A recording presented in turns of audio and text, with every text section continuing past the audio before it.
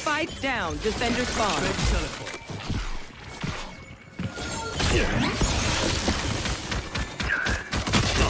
This character is dog shit. I don't know why anyone would play this dumbass character. I'm leaving.